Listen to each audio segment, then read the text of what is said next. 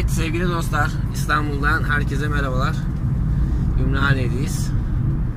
Ee, İsmail arkadaşımızın Chevrolet Aveo 1.4 benzinli otomatik aracımızda testimize başladık. Aracı sahibine teslim ettik.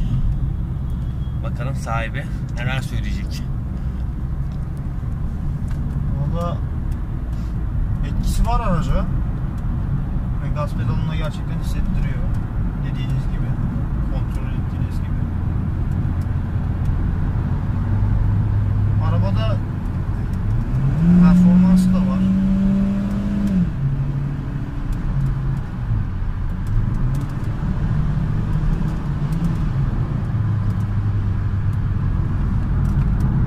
Tabii bizim için önemli olan yakıt tasarrufu.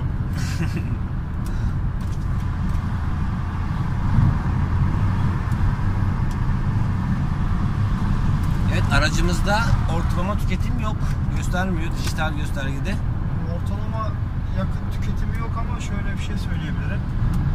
Yani arabaya ben dokunduğumda böyle kafa kaldırmıyordu. Performans olarak. Zaten ilk baş ben söylemiştim. Performans benim için Evet. çok önemli diye. Yani araba kafa kaldırmaya başladı. VGT'den sonra. Şu anlık memnunum. Yani performans olarak bir tepkisi var diyorsun şu an. Var. Yani şu yoktu arabada. Ön kaldırma yok. Aynen ön kaldırma yoktu.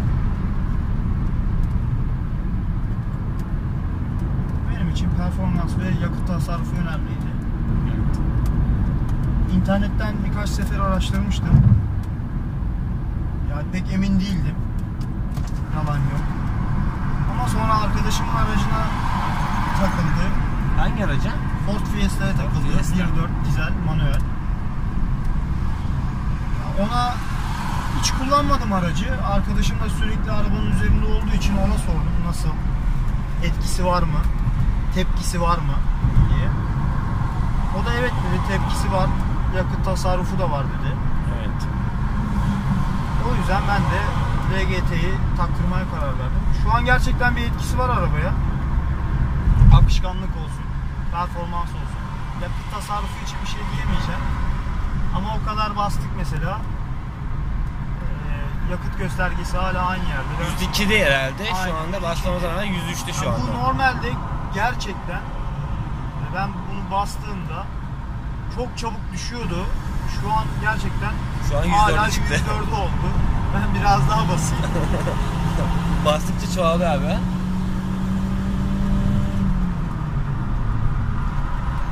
Eğer gerçekten böyle devam ederse yani gerçekten mükemmel. Yani şöyle e, zaten biz videolarda da söylüyoruz %10 %15 arasında cihaz veriyor. Geri kalanına %40'a kadar geri bildirimlerden biliyoruz ama hani bu şekilde hani şey kullanırsak performans illaki alırsın. Yakıt tasarrufu olarak da hani yüksek bir rakam göremeyebilirsin. Düşük rakamlar görürsün bu şekilde. Eski kullanım açıklamalarına göre kullanırsan. Tabii. Yani e, ben yazılım attırma taraftarıydım. Arkadaşımın aracına attırdık Golf 7'ye. 1200-1300 liraya. Performans gerçekten inanılmaz arttı. Bir 4-5 ay gerçekten çok güzel bir şekilde kullandı ama sonradan hatta dün kendisiyle görüştüm. Dedi ki İsmail dedi arabamda dedi arıza var dedi. Partikül sıkıntısı varmış. Babama falan da gösterdik. E, 8 milyara yaptırmış. Yani bunu tavsiye etmiyorum yani. Ben de kendi yani ke- hızlı bir araba alıp lüks bir araba alıp ben de taktırma taraftarıydım ama 8 bin lira masrafı duyduktan sonra VGT'den başkası yalan. Gerçekten şu kafa kaldırma benim çok hoşuma gitti. Hiç mi kaldırma abi? Hiç mi Ya kaldırıyordu ama bu kadar kadar değil. yani. Ama gerçekten arabanın akışkanlığı da dediğiniz gibi artmış. Evet gazsız akışkanlığı akıyor. kullandığın zaman Aynen. akıyor yani. Klimayı açalım mı abi istersen? Açabiliriz. Aynen Ha. klimayla da etkisini Aynen. Tabii tabii aynen abi. Klimayla da bir Biz deneyelim. unuttuk açmayı. Normalde açıyoruz. dedik. arabayı da bu arada yeni yaptırdık. Yeni yaptırdın Yeni yaptırdım. Biraz basınç yerinden hava kaçırıyordu. Babam değiştirdi onu.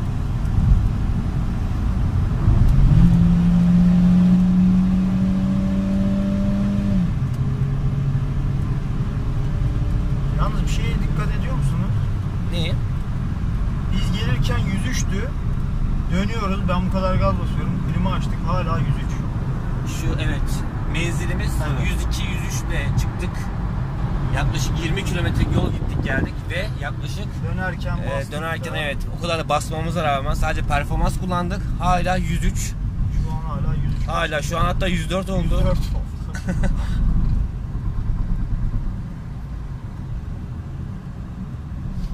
Yani Orduya giderken güzel olacak yani başka İnşallah, yok. inşallah evet. Ya benim için önemli olan performans. Yani yakıt pek önemli değil ama babam için önemli olan Yakıt. gerçekten yakıt yani. Çünkü benzinli araba tüp kullanmıyoruz. Evet. Tüpe karşıyız. Yani bir akrabamızın Opel Astra'sı vardı. Vectra zannedersem tam hatırlamıyorum. Gaz taktırmış. Misafirliğe gittik onlara. Babama dedi ki Yılmaz abi dedi benim arabam dedi yatak sardı dedi. Gaz ömrünü kısaltmış motorun iyicene. Yani bir, zam- bir süre evet gerçekten güzel gidiyor gaz. Evet. İlk takıldığı zamanlar ama sonradan motorun ömrünü kısaltıyor. Aynı yazılım gibi. O yüzden babam da e, LPG'ye karşı. Zaten bu zamana kadar hiç LPG'li araç kullanmadım. Ben size çok teşekkür ediyorum. Ben teşekkür ediyorum. Gerçekten Ee, tepkilerimiz güzeldi. tepkiler güzel. Hala da güzel yani. Evet. Hala menzilimiz şu Ya an özellikle 103. bu menzil olayı çok güzel oldu. Çünkü bu psikolojik yani bizim Türk insanında. E, Çoğu arabada zaten şimdi gösterge var. 50 kilometre, 100 kilometre gösteriyor. Bu göstergenin artması ya da böyle sabit kalması gerçekten psikolojik olarak Şimdi şeyi merak ettim. Sen hani Yükseltiyor. dediniz ya biraz önce hani 103'e çıktık 103'le geldik. Evet. Evet. Ee, o kadar bastırmamıza rağmen çok düşmesi lazımdı. Acaba normal kullanmış olsak acaba şu an kaç olurdu tahmin ediyorum. Tabii Herhalde ki şu an canım. 120'yi bulmuş artardı, bayağı bir artardı. Ya dediğim gibi ben biraz performans merak ettiğim için yüklendim arabaya. Anladım. VGT'ye teşekkür ediyorum. o zaman VGT ailesine hoş geldin diyoruz. Hoş bulduk. Hayırlı uğurlu olsun. Evet Teşekkür arkadaşlar ederim. İsmail arkadaşımızın Chevrolet Aveo 1.4 benzinli aracımızda teslimi sona ermiştir. Bir sonraki videolarda görüşmek üzere.